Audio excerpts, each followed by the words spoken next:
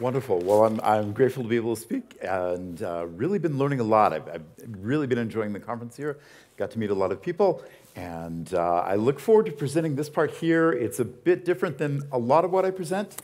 Um, the backstory, almost, we're almost there. So the title of it is about decentralized data markets. And, uh, but the real thing about this is where do you see some applications between what we can do practically today with blockchain and what we need to do with machine learning? Uh, I got asked to be a chair for like a mini conference. It was about AI and blockchain.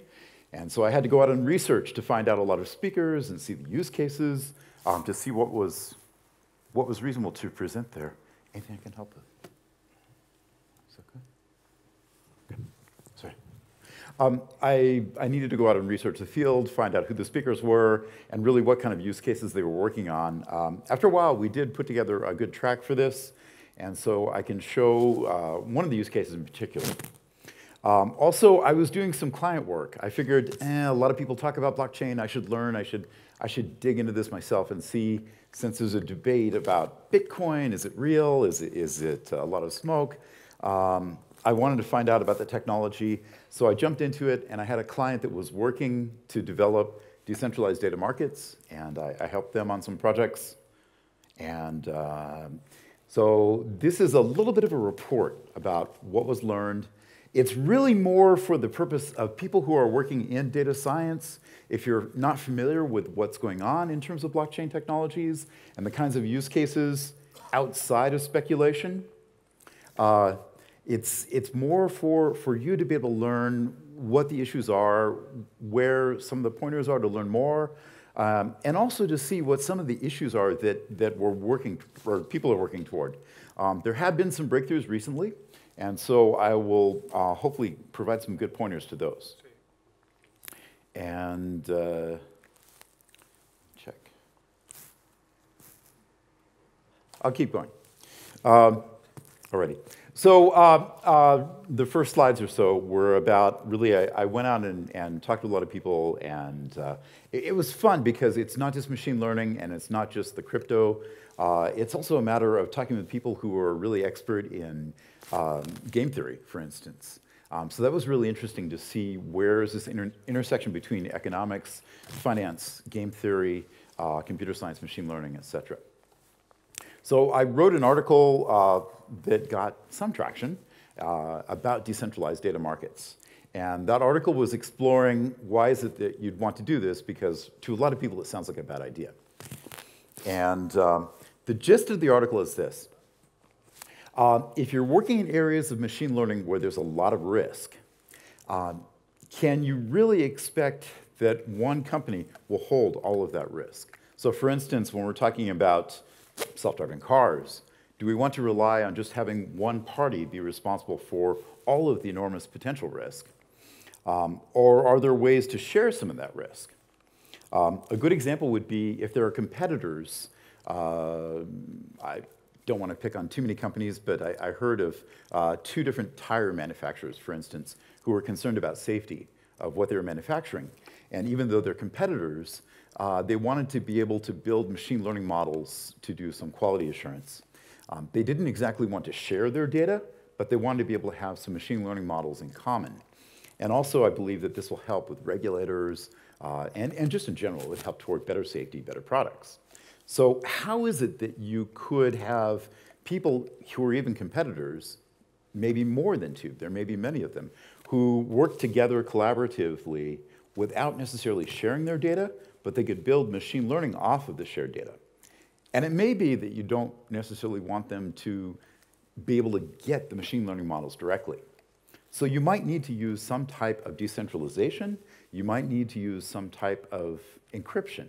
And there have been some recent breakthroughs. Aha, okay, good, we've got this. Except for it says time's up.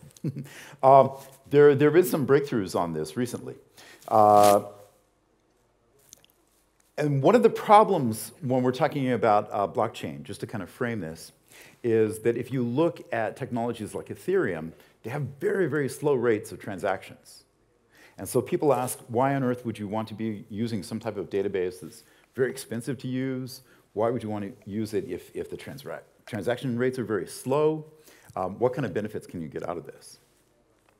And probably the, the simplest explanation on that is that uh, a decentralized technology, it's actually something that's very common. We interact with something like this all the time. For instance, when you go and buy real estate. If you, if you buy a home, I just speaking about purchasing a home in, in the United States, um, there's going to be the buyer, the seller. They both have agents, maybe more than one. They probably have at least one bank, although in the United States, typically you get your loan transferred to another bank right after you close. So there's probably multiple banks involved. Um, there may be attorneys on either side. Um, there's certainly going to be inspectors, government agencies that are involved looking at fire and flood and pest and other issues. Um, so when you go to buy a home, it's not something that you want a fast transaction on. You know, the idea of, of spending hundreds of thousands of dollars within milliseconds is not something you want to do. Instead, you want to make sure that there's time for settlement so that the different parties can come in, they can explore what the deal is about, um, they can voice their objections or anything that needs iteration. And maybe the transaction itself doesn't settle for a matter of days or weeks. Um, but you want that if there's a lot of money and a lot of risk on the line. So real estate escrow, real estate transactions are actually a really good analogy for some of the kinds of use cases that we're seeing with machine learning and blockchain. check. Okay. Um, so uh, the article we'll have up here, uh, it explores in a bit more detail some of these analogies. Um, what I wanted to do was give some history, and I'll just kind of wing it. Um, I want to give some history on this.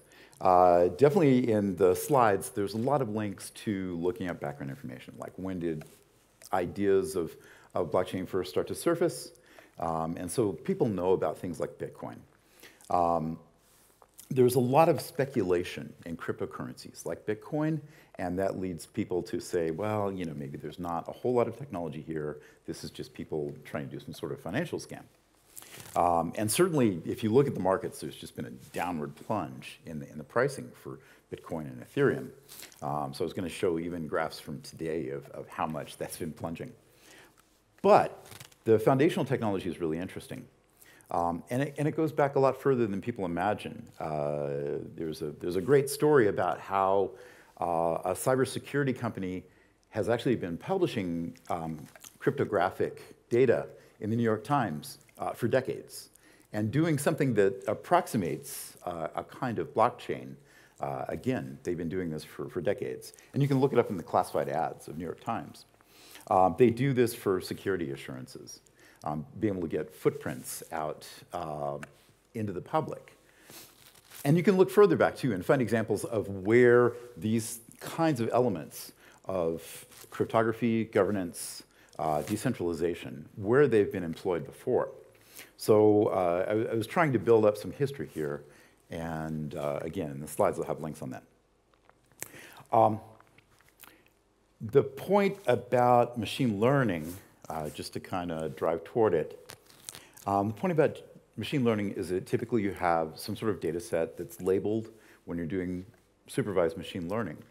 And a typical kind of approach is that you'll do a holdout. You'll retain part of the set for training and then other parts for testing. Um, in the notion of decentralization, though, some of that changes. So uh, I guess first off, I should, I should try to describe for people who haven't had a lot of hands-on with this yet, what we mean by decentralization.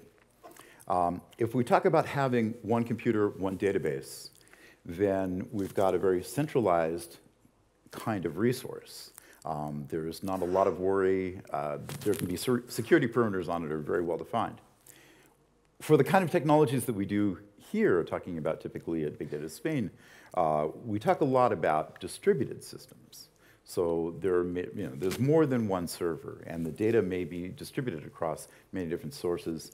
Um, there's a, a, number of techniques, of course, that we've used in things like Hadoop and Spark and Kafka, uh, which represent distributed systems. Being able to make sure that we can get reliable results from the data and uh, be able to work with clusters of computers. Decentralized, though, is very different. Um, decentralized is, the, is to say that there's no real one controller. And so with distributed systems, typically you do have some type of controller. With Spark, of course, there's some type of master. There's some sort of Spark context that you're going through to reach that. With decentralized, though, what you want to do is make sure that no one party has control over all the others. And that's a difficult thing to do. The math of things like Ethereum, um, they've worked out a lot of principles for this. They're finding some problems, but they're working further on it. So decentralization is an interesting thing because then you can have multiple parties who can work together without a fear that one of those parties will take over control. Um, and so that's the notion of having competitors, for, for instance, work with data sets that are decentralized. Each different competitor could have their own component of the data, but yet the training of the machine learning models can go across all of it. Um, so decentralization is a hard problem, um, but definitely when we're looking uh, in terms of O'Reilly Media and some of the, the surveys and forecasts, trend analysis, decentralization is, is very much a long-term theme. And there are a lot of reasons for it. Um, ultimately, anything that's centralized has a lot more potential security vulnerability, a lot more risk.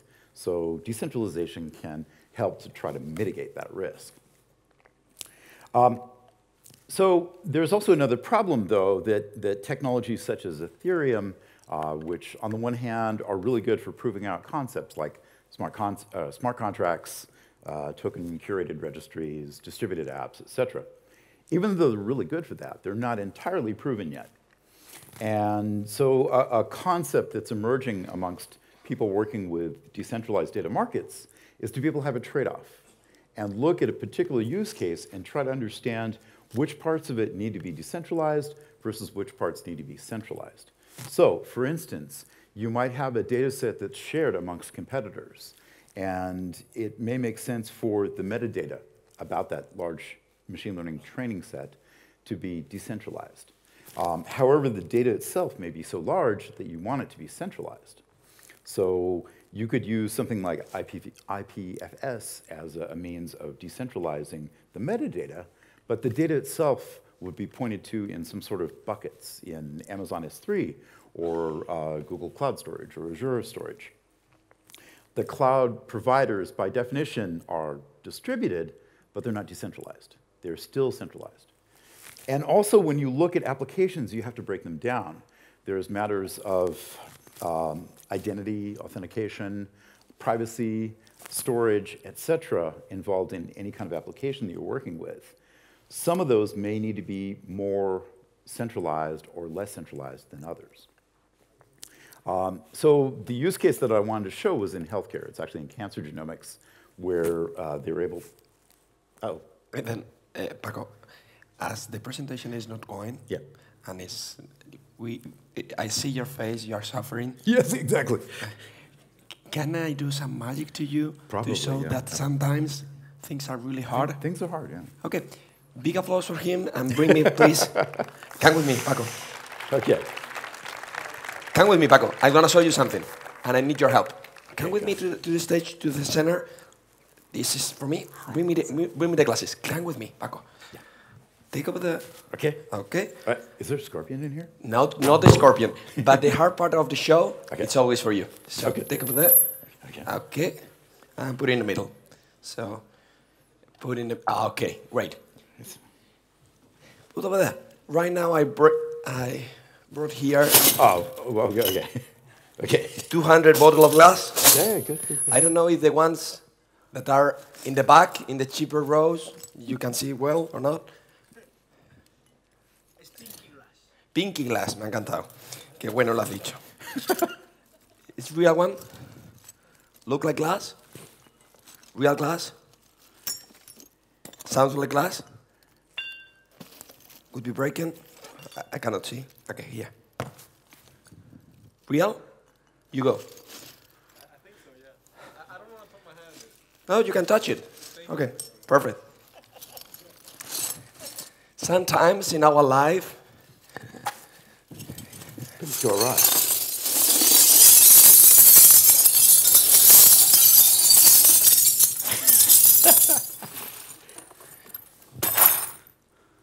Take the hammer. Hammer. Okay. Oh, wait. Take the towel. Come here. Okay. Come with me. Okay. Okay.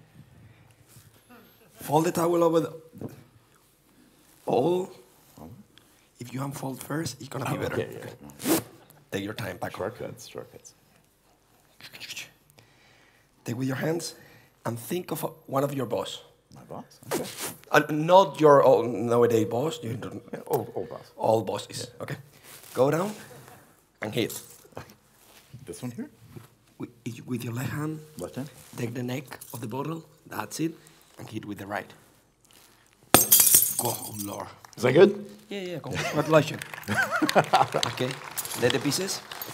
Okay. Okay, and sometimes in our lives, the, the life is harder, really hard.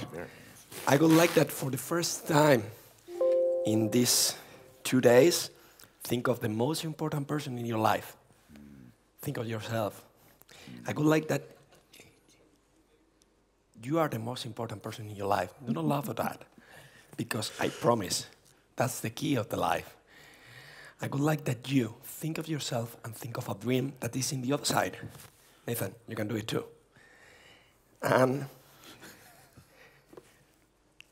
those that are back, if you're gonna come closer, will be better. Okay. So, can we put over there so I can hear it? Okay. So, each of you, think of your dream for the next 15 seconds. Neuroscience says that the best way to achieve our dreams is to know that they are not really, really easy. Blockchains and all that you have been saying, it's not easy. Artificial intelligence is not easy, but you have to dream of that and make it real. For all of you, can we put in the screen so I can see? I, I can. Okay. Can we put the sound, please?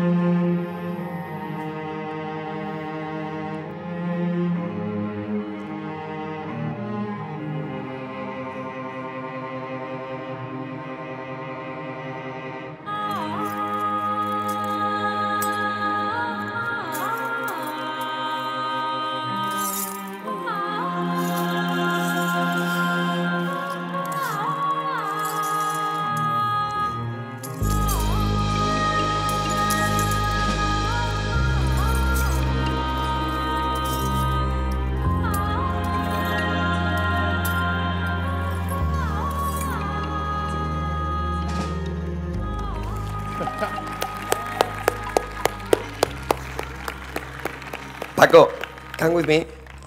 I'm gonna ask you: Is there something over my shoes? Is there an special so- sock or something like that? No, no, no. Over my foot too? barefoot, Barefoot. No foot? Absolutely. Yeah. No special sock? No nothing? Mm-hmm. No nothing? Thank you so much for this time. Ready? Not everything is ready for Paco? Oh, I should His take my No, you should continue with your presentation. If you do it properly, great. If you are doing not so good, at the end, you're going to cross.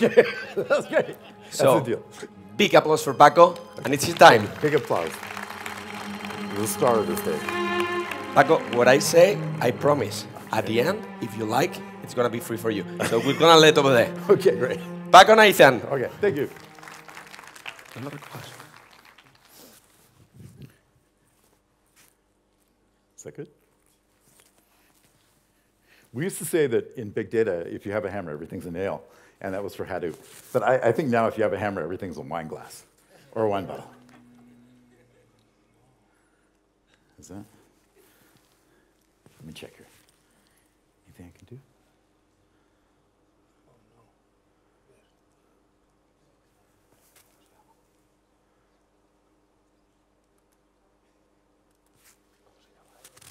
Paco. That's it. There we go. Paco. Esa es. Perfect. Control alt. Control alt. correct one is now. Perfect.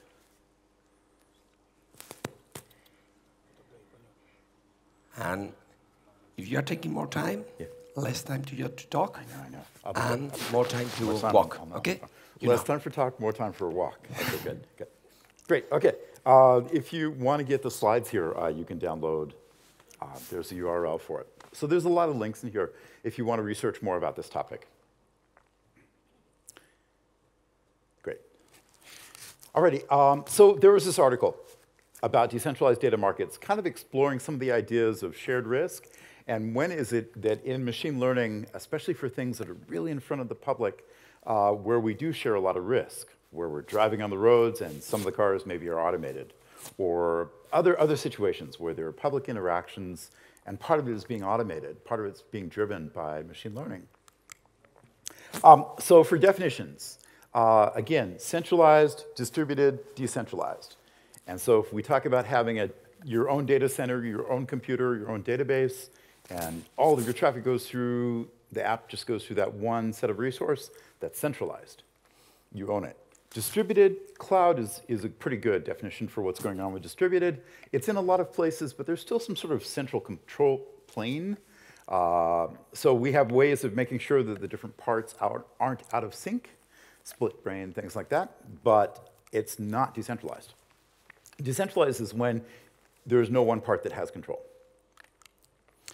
Now, the thing about the blockchain kinds of technologies, here's uh, charts from this morning uh, showing what are the relative ownership for both Bitcoin and Ethereum. And Ethereum is the one here on the right. You can see that really like half of it is completely controlled by just two parties.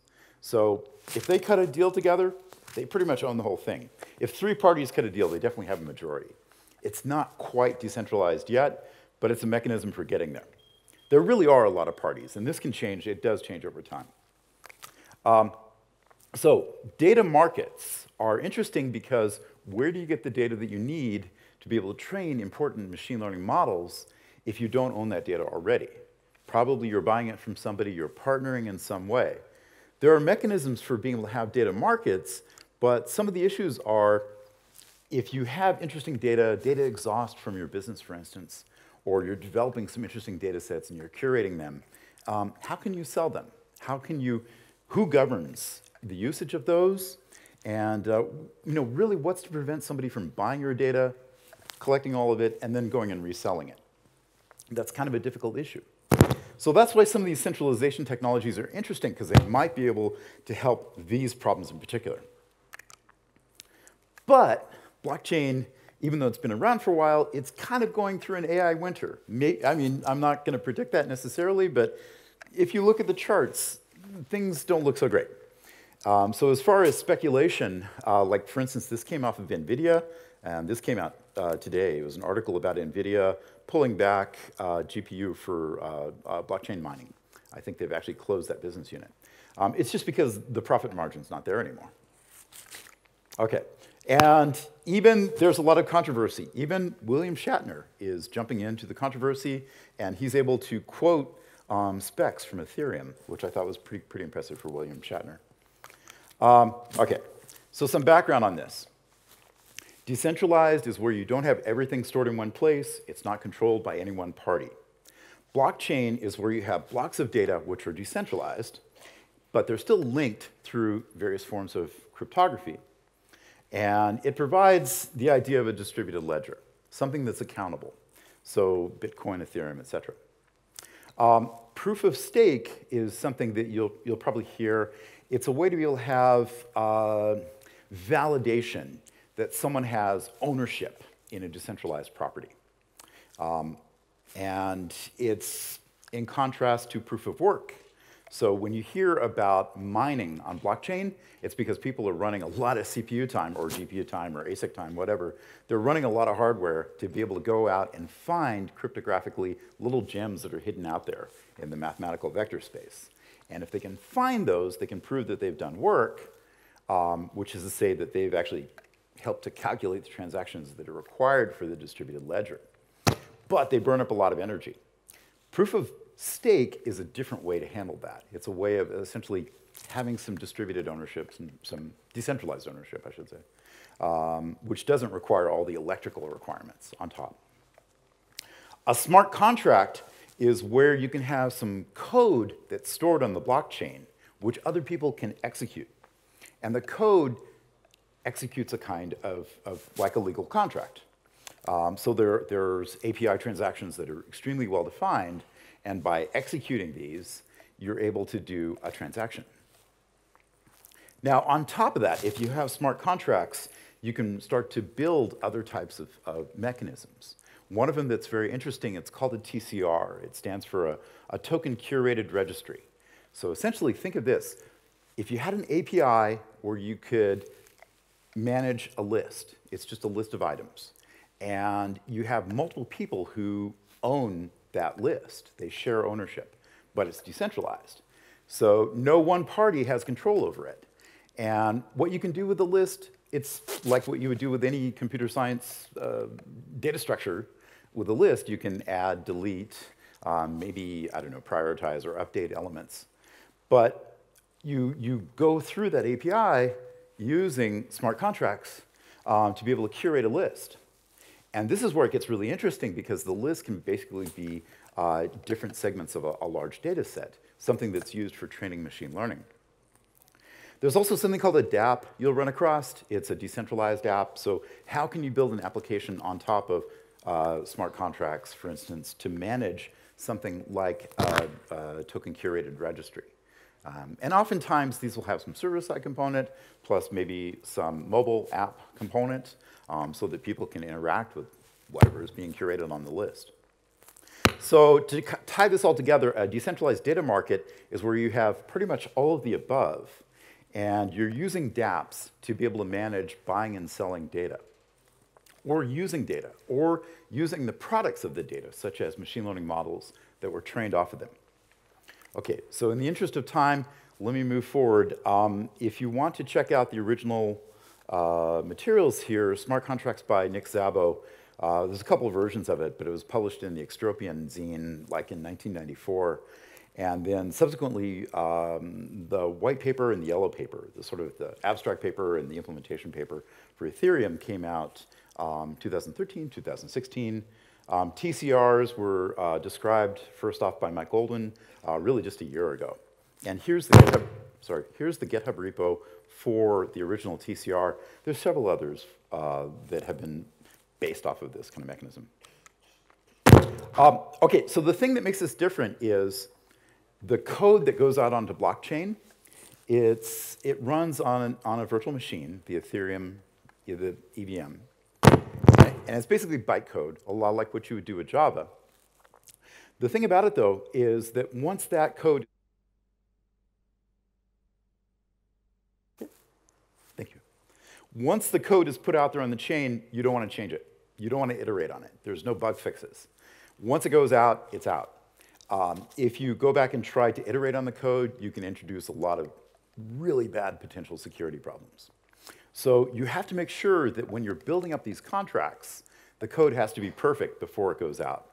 And this is where a lot of auditing and a lot of game theory come into play because you really have to be certain that your code is, is verified and that it's going to work correctly, it's going to work as expected. So immutable code on the blockchain, that's a very interesting thing.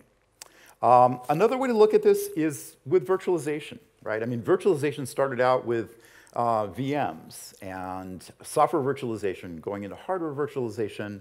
You started seeing things like hypervisor, and you know we got notions of Amazon AWS. Um, then we started moving into things like C groups, LXC, which, which led to Docker and Kubernetes and Mesos and, and many other things that we use now, systemd and others. And so there's been this trend of getting lighter and lighter or lightweight virtualization. Um, arguably, serverless is kind of an idea that's a little bit more lightweight than what we would think of deploying Docker containers, even though behind the hood there probably are some Docker containers. But what's going on with smart contracts is sort of like way, way out on the scale as far as super lightweight virtualization. There's just a tiny bit of code. It's really well known, um, and it is effectively serverless. Okay, so some earlier history. Um, there's, there are good parallels here. So I, I, just I want to throw out something that's a little bit strange, but if you look back into the 16th century, um, there are very bizarre alchemical documents talking about forming this fictional thing called the British Empire, long before Britain could ever be called an empire. Um, but when you look in those, actually, they were practicing types of encryption very early. They were working with cryptography. Um, they were also working off limited liability, i.e., risk mitigation. And they were doing voting shares, governance. Uh, they were also looking at a lot of data collection. So it's, it's really interesting when you go back and dig into those early documents, which are now housed in museums in London. Um, those things led immediately to the first public corporation, uh, the East India Company, uh, and to subsequent things that led to constitutions. But these were early ideas about decentralization. And there's a lot of parallels between what the people in blockchain are doing now and what these people were doing, what, you know, hundreds of years ago. Um, I'll move forward on that. If you've ever seen a play called The Tempest, it, it covers this in detail. Um, and, and even though those are primitive, they were early forms of decentralization. But the one that really started it out is something that's barely known. It's a paper called How to Timestamp a Digital Document by Haber and Stornetta, and they were working at Bellcore, a spinoff of uh, AT&T Bell Labs. And so they published this, and they, they had an application uh, based on it where they were doing cryptographic signatures published in the want ads uh, of New York Times. And so that's been going on since 1995. Um, so it, it may be high tech, but not necessarily. Now, the problem is that when we talk about blockchain, really we're talking about distributed ledger. It's a kind of database. And so when we think of like distributed databases, we want to get very fast access times. But these are painfully slow, they're super expensive, and they're exposed to all kinds of people. I mean, there's basically everybody can, expect, can inspect what's on them. So they're sort of the opposite of what we try to do when we're building distributed systems these days. But there's reasons for that, and this is what I tried to mention. The best analogy that I could find is escrow for real estate. Um, when you're doing a real estate settlement, you've got hundreds of thousands of dollars or millions of dollars, euros, transacting between different parties, and you have a lot of auditors and regulators and whatnot who are inspecting the house and inspecting the loan. Um, and you don't want those transactions to happen quickly. You want them to be painfully slow. You want them to be expensive because if there's mistakes, it'll be a lot more expensive. So there, there are really good reasons to have this kind of fundamental trade-off between transaction throughput and the degree of centralization. Again, the centralization is what introduces risk. Um, so if you want an example, here's a tutorial that I, I helped to write uh, this is off of uh, Computable Labs. It's some open source, mostly JavaScript. It's an implementation on top of the, uh, the original TCR uh, that I showed earlier on. But it's how to maintain uh, a distributed app and a, and a token curated registry. Basically, it's a list of universities. So it's a decentralized database, and there are people who can uh, go in and add to it. There are people who can go in and consume from it. Um, so you can see all the basic operations. But you can get this running on a laptop really simply. And again, this is JavaScript, and so um, it, it's running in Node mostly. Um, so, you know, one thing that you could think of as an application for this, if you, for instance, ran a winery, you had a vineyard, you made wine, um, instead of having like a wine club that people pay a certain amount every month to, or every year to get shipped wine, Instead, you can consider part of your annual production, your wines, to be a kind of listing.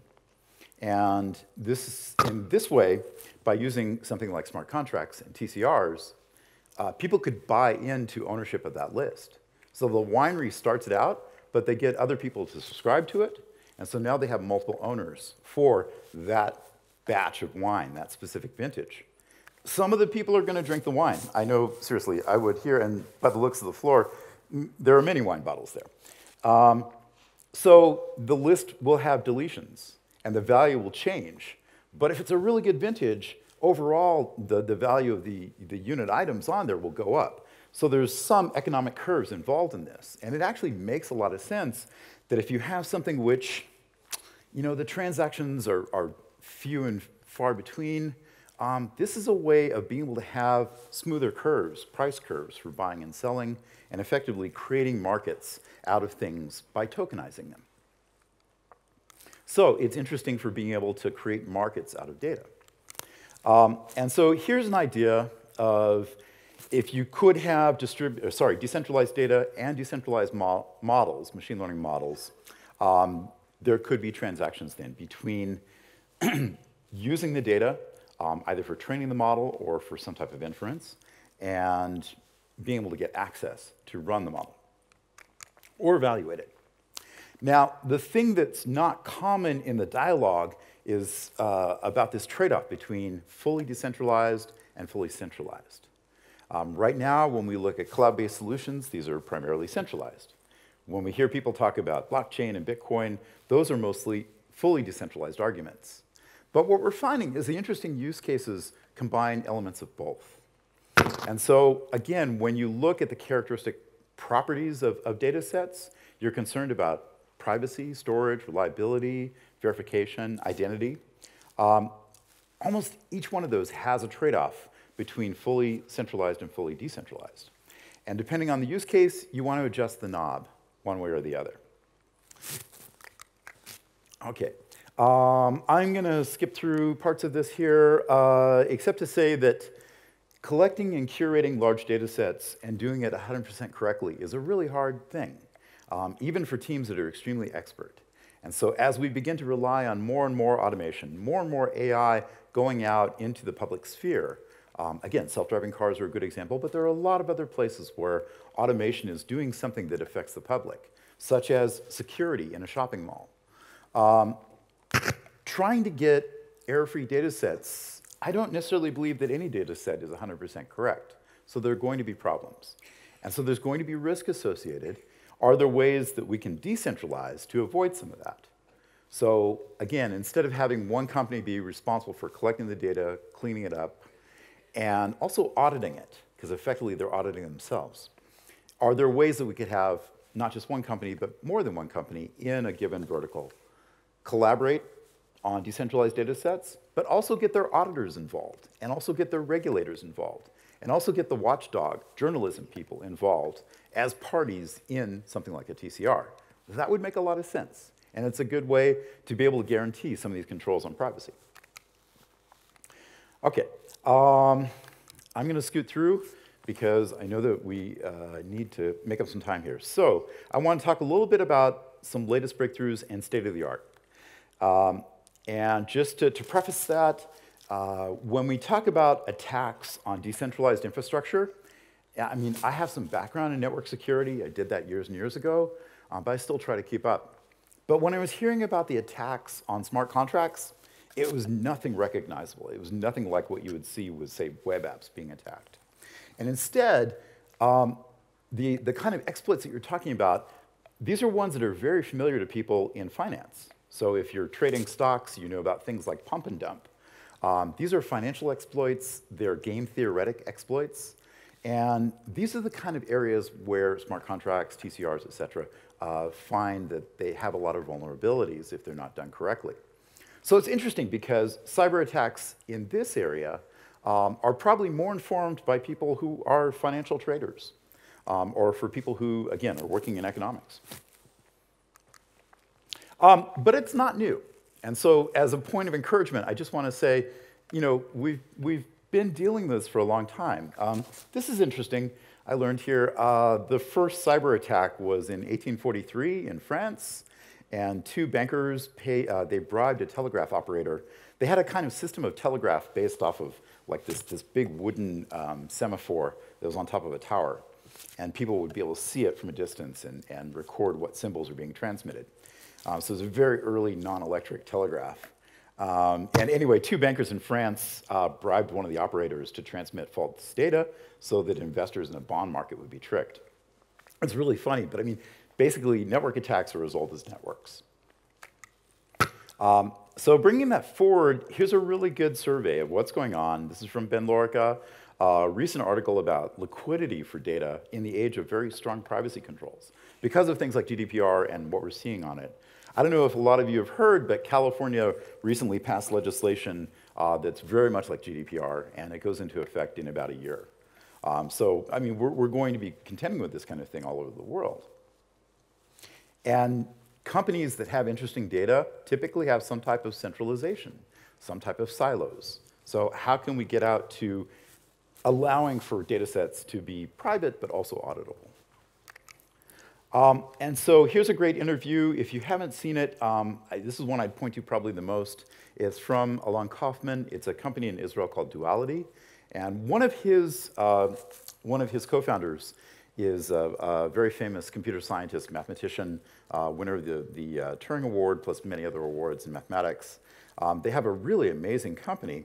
Um, this is an interview uh, that they did on O'Reilly recently, and they talk about different forms of uh, cryptography that can be used for decentralization. So um, how can you have it such that multiple parties are working with data sets and machine learning models? No one party has control, and in fact, people may not be able to see the data, but they can use it. And vice versa. They may not be able to, under, to get a copy of the machine learning model, but they can use it. There are really three forms right now. There's homomorphic encryption. You'll hear this called HE. And there's a Python library that's popular called Seal. You'll hear about differential privacy. Apple has pioneered a lot of this. you'll also hear about um, secure multi-party computation. All of these are different forms of, of distributing privacy problems. Privacy preservation in distributed computing. And all of them can be used for smart contracts. There's definitely some, some great approaches here. They all have trade-offs. Some are a little bit more toward helping out the people who are consuming the data. Others are, are more toward helping the people who are producing the data. But the thing is you can combine them. And so that's what Duality is working on. Um, the URL for it is duality.cloud. I, I think they've got a really fantastic future and, um, but the thing is that all of these have been horribly expensive to compute. And so the problem is that what you do is you inject noise in a very well-known way, and that beefs up the privacy. You can still do computation even with noise in the stream. And in fact, in some cases in machine learning, you may actually improve machine learning models because um, it's, it's one way, like ridge regression, it's one way of getting away from overfitting. Here's another great uh, interview from um, um, Chang Liu from Georgian Partners, some of the work that they've done within their portfolio. And I've, I've linked out to a couple of the main papers in this field.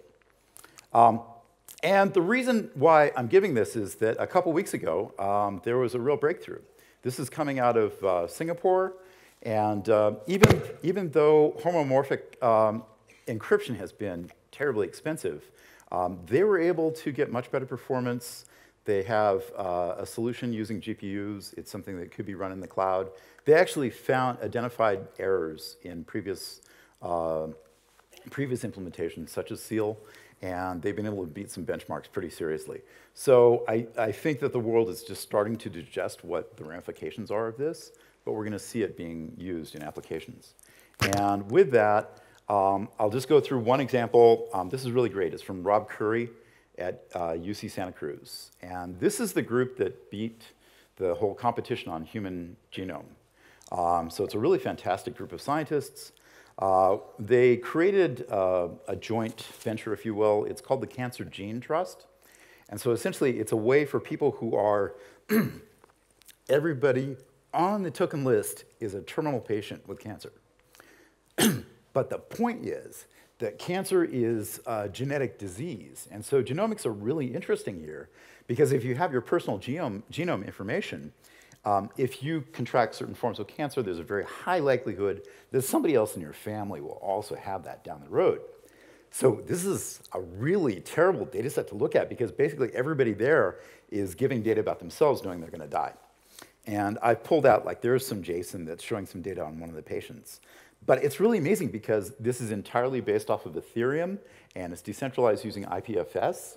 And it's, it's probably one of the better dApps as far as utility that we've seen so far.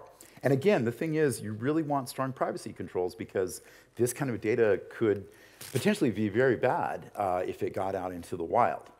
Um, so the, healthcare is a place where you're going to see a lot of interesting work in, in these kinds of decentralized applications. And so with that, thank you for bearing with me. Um, the slides are online. I'll post about them, the URL as well, and I'm going to have office hours in about one minute. Thank you very much.